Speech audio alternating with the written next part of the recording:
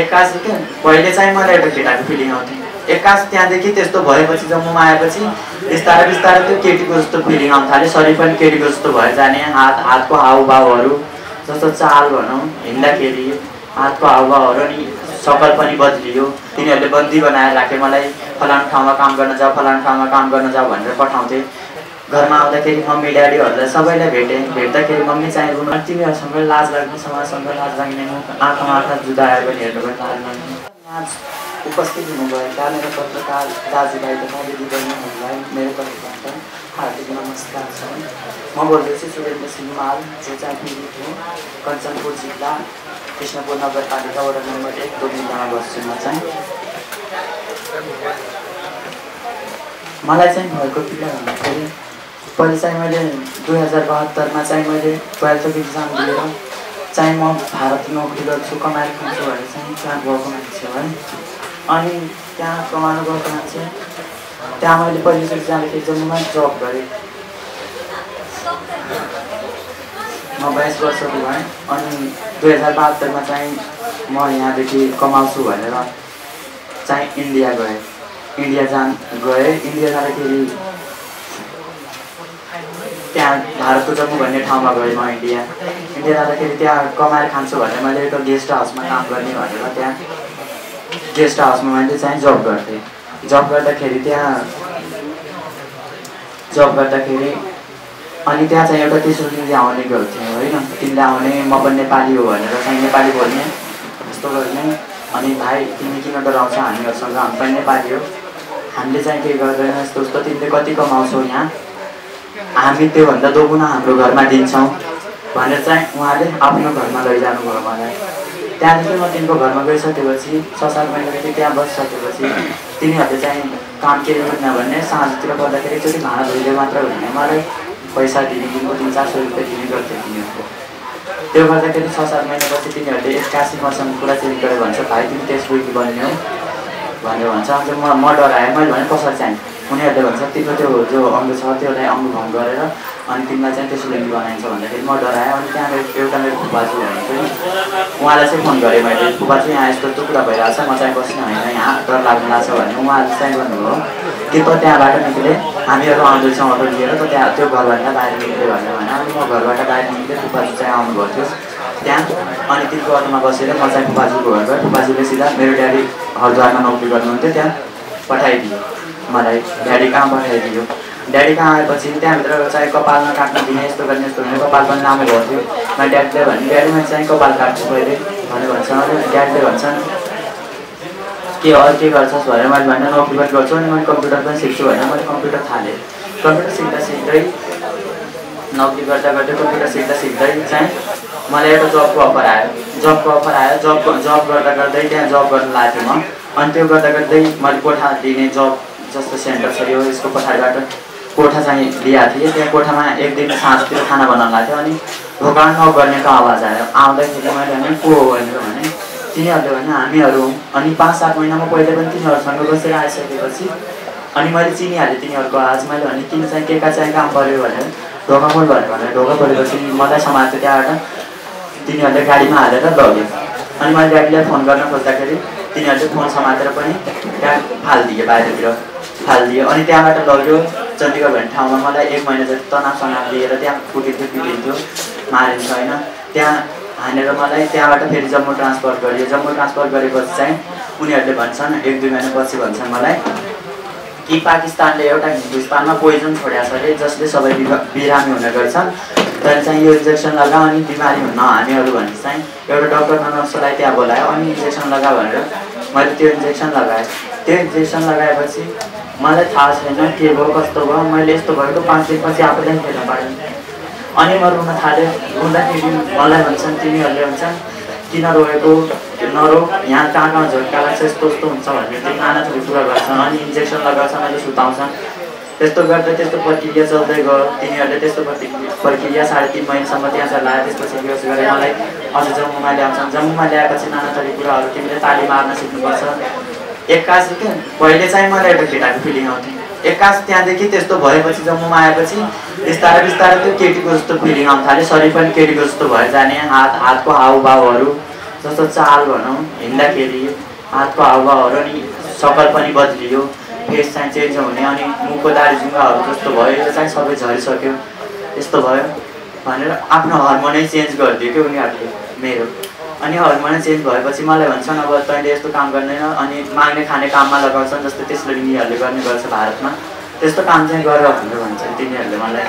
अनि मैले चाहिँ त्यो काम गर्न थालेपछि मलाई आउँदैन थियो सुरु सुरुमा त तिनीहरूले सिकायो यस्तो गर यस्तो गर भनेर। अब दुई साल भइसकेपछि तिनीहरूसँग तिनीहरूले बन्दी बनाएर राखे मलाई फलानु ठाउँमा काम गर्न जाऊ फलानु ठाउँमा काम गर्न जाऊ भनेर पठाउँथे। कहिले इलियास भारतको इलियास भन्ने व्यक्ति जसले चाहिँ मलाई यस्तो गर्यो। त्यसले चाहिँ पठाउँछ अब भन्छ अब त राम्रो काम गर्नु लाग्छ सब चाहिँ तैँले यहीँ काम गर्नुपर्छ यहीँ बस्नुपर्छ भनेर चाहिँ आफू कहाँ राख्यो? आफू कहाँ राखेपछि उनीहरूले भन्छन् अब तैँले यस्तो गर्नुपर्छ यहीँ काम गर्नुपर्छ तेरो काम राम्रो छ त सुन्दर छस् यस्तो यस्तो काम राम्रो हुन्छ पैसा पनि धेरै मिल्छ यस्तो यस्तो भनेर तिनीहरूले भन्छन्। पैसा दिन्छन् आफूहरूले अझ आफैले खोसेर लैजान्छन् तिनीहरूको त्यो सिस्टम पनि थाहा छैन के गर्ने रहेछन् के गर्दा? आधा जिन्दगी त पहिले दियो मलाई भएको जिन्दगी पनि गुजारो भनेर यस्तो सोच्दाखेरि त्यो पनि लैजाने। अनि त्यति मात्र होइन मलाई मर्ने मार्नेको पनि धम्की दिने त्यो घाँटी काटिदिन्छौँ। यस्तो गर्छु उस्तो गर्छु भनेर धम्की दिने होइन तिनीहरूले विभिन्न त्यो चाहिँ कामहरू गरिराख्थे। अनि पछि त्यहाँबाट चाहिँ त्यो हुँदाखेरि त्यहाँबाट एउटा एउटा मैले कसरी नि निस्किने भनेर चाहिँ विकल्प खोजेँ।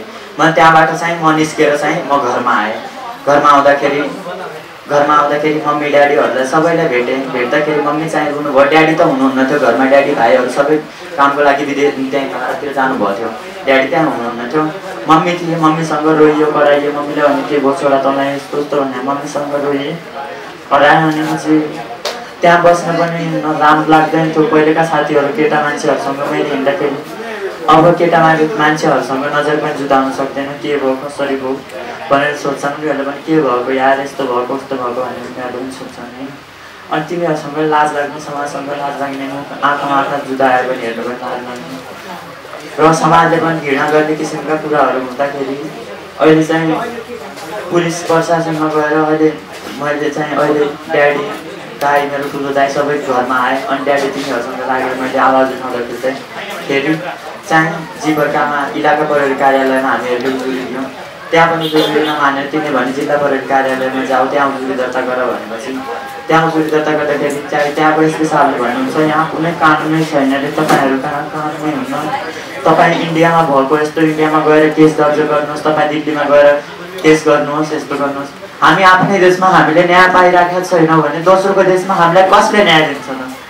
को दिन हामीहरूलाई त्यहाँ न्याय कसैले दिँदैन हामीलाई न्याय। अनि भन्छ तिमीहरूमाथि कारवाही हुँदैन भनेपछि हामीहरूले चाहिँ भने हामीसँग सम्बन्धित कागजातहरू जो तपाईँले दिएको छ त्यो कागजातहरू सबै दिनुहोस् हामीलाई। अनि हामीले चाहिँ आफ्नो जुन ठाउँमा न्याय पाइन्छ त्यहाँ चाहिँ गएर गुहार गर्छौँ हात जोड्छौँ। जस्तो गरेर पनि त्यहाँ जान्छ हामीलाई कागज दिनुहोस् अनि सम्बन्धित मान्छे जो बुझाएको छन् तिनीहरूलाई पनि दिनुहोस् भने भन्दाखेरि पुलिसले चाहिँ एक्कासी कुरा बदलिदिने क्या पुलिसले पहिले भन्छ जिपरकामा जाँदा जाँदै दोषलाई कारवाही हुन्छ तपाईँ चाहिँ मेडिकल गराएर ल्याउनुहोस् आफ्नो मेडिकल गराएर ल्याउनुहोस् दोषलाई कारवाही हुन्छ भनेर भन्छ अनि हामीहरू चाहिँ ठ्याक्क मेडिकल गराएर ल्याइसकेपछि हजुरले मेडिकलको कागजहरू पनि देख्न सक्नुहुन्छ। त्यसमा मेडिकल पनि भएछ मेडिकल रिपोर्टहरू पनि छन् होइन? महाकाली अञ्चल अस्पतालबाट हामीहरूले मेडिकल गराएको। अनि हजुरहरूले मेडिकल रिपोर्ट पनि हेर्न सक्नुहुन्छ। त्यहाँदेखि एक्कासी आउँदाखेरि इन्डियादेखि एउटा मान्छेलाई ल्याइन्छ क्या तिनीहरूसँग सम्बन्धित मान्छे आउँछ। त्यसलाई ल्याउन दुई चारजना प्रहरीहरू बाहिर आउँछन् भन्दा त्यसलाई यस्तो घेरामा राखेर चाहिँ माथि लगिन्छ।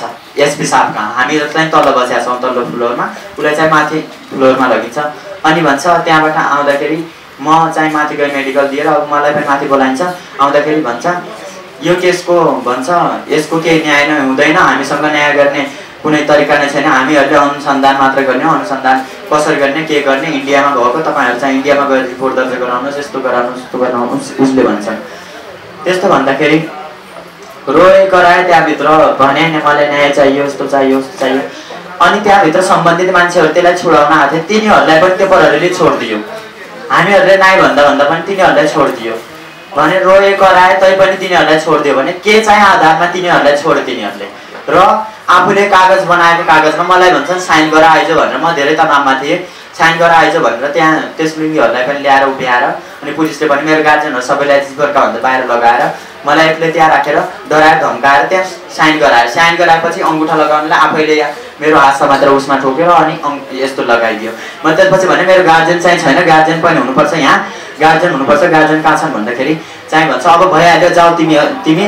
तिम्रो न्याय हुँदैन यस्तो हुन्छ उस्तो हुन्छ भन्दाखेरि चाहिँ तिनीहरूले त्यस्तो बयान चाहिँ तिनीहरूले दिइरहेको अब भन्दाखेरि मैले जिउन त जिउने जिउने के आधारमा कस्तो आधारमा जिउने? समाजले पनि हेरेर गरिरहेको छ सबै मान्छेहरूले मलाई देख्दाखेरि भन्छन् कस्तो अनौठो मान्छे आएको यस्तो छ उस्तो छ भनेर चाहिँ सबैले भनिरहेको छ अब मैले जिउन त जिउने के आधारमा जिउने भनेर घरमा तनाव भएर बसिराखेको थिएँ। घरमा पनि पत्रकारहरू आउने।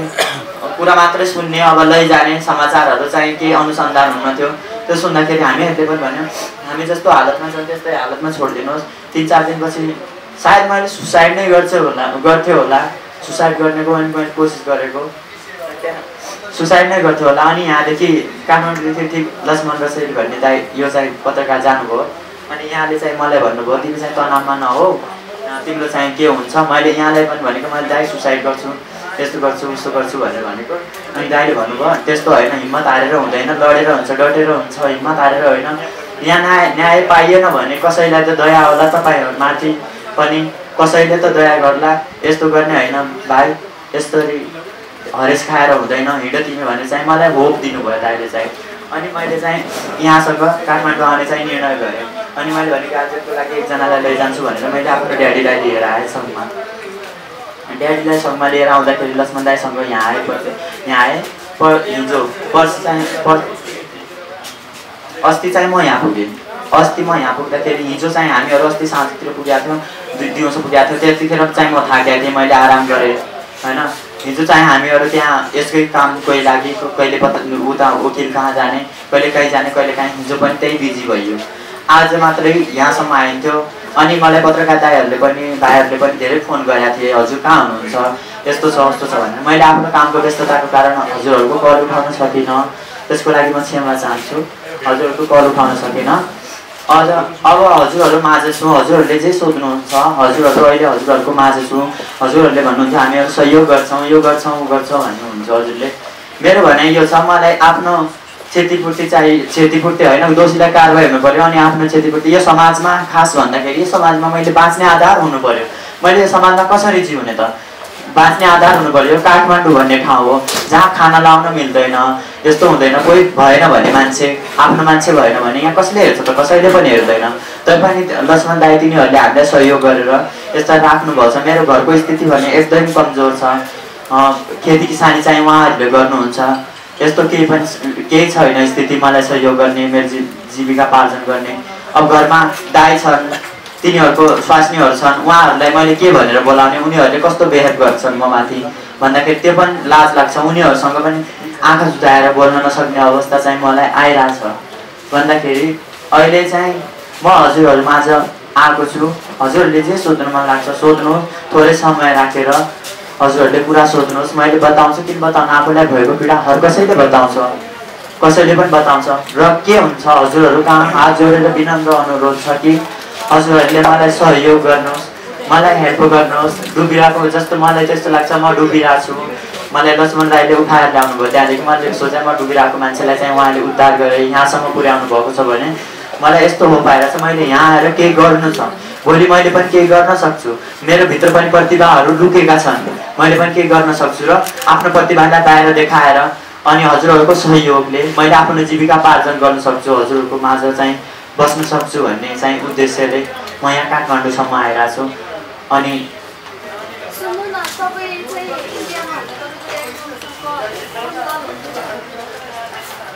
पहिले चाहिँ हुन्थ्यो ड्याडी चाहिँ हरिद्वारमा थियो है। म चाहिँ इन्डिया गएको फुपूको छोराहरूसँग तिनीहरूसँग जान्थेँ तिनीहरूसँग पनि फोन कल हुन्थ्यो। जबदेखि म त्यो भित्र पुगेँ त्यो भित्र पुग्दाखेरि चाहिँ मलाई त्यो फोन फोन गर्नबाट पनि टाढै राखिन्थ्यो। टाढा राखिन्थ्यो फोनमा नचिप्के धेरै धेरै फोनमा नलागे यस्तो यस्तो भनेर भनिन्थ्यो। उनीहरूले चाहिँ यस्तो जेन्डर चेन्ज गरेको मलाई लगभग दुई वर्ष हुन लाग्यो। तर त्यहाँभित्र चाहिँ मलाई भनौँ त्यहाँभित्र रहेको अनि हरिद्वार कम्प्युटर सिकेको अनि पहिले पनि त्यहाँभित्र बसेर आएको चाहिँ त्यो लगभग दुई दुई वर्ष जति त्यो पनि एक्स्ट्रा हुन लाग्यो त्यहाँ भइरहेको थियो भेट हुन्थ्यो भन्नु उनीहरू अब हामीले भनेको होइन कि हाम्रो समाजले हेर्ने कुनै फरक छ उनीहरू अलि अर्कै टाइपको हुन्छ हजुर, होइन? हजुर। अलि एब्युजिभ टाइपको हुन्छ होइन हजुर। फोर्सफुल टाइपको हुन्छ हजुर। भन्छ भने तपाईँ उहाँसँग किन सङ्गत गर्नुभयो मैले सङ्गत गरेको होइन म चाहिँ एउटा विदेशमा थिएँ कोही नेपाली भनेर नेपाली आउँछ भने आफ्नो देशको मान्छे भेट्नु भनेको त एउटा कुरा गर्नु राम्रै कुरा हो मैले पनि यस्तो कुरा गरेको आफ्नै मान्छे हो भनेर अनि उहाँले चाहिँ भन्नुभयो पैसाको लालच देखाएर मलाई लग्नुभयो होइन म पनि गरिब घरको मान्छे हो मैले भने यहाँनिर यति पैसा पाइन्छ त्यहाँ के थाहा ज्यादा पाइयो भने मैले पनि भोलि गएर घरमा पढाउँला आमा बुवाहरूको सपना पुरा गराउँला भोलि भोलि घरमा पढाइ गर्ने। यस्तो यस्तो सोचेको थिएँ। त्यही भएर त्यस कारण म त्यहाँ गएँ।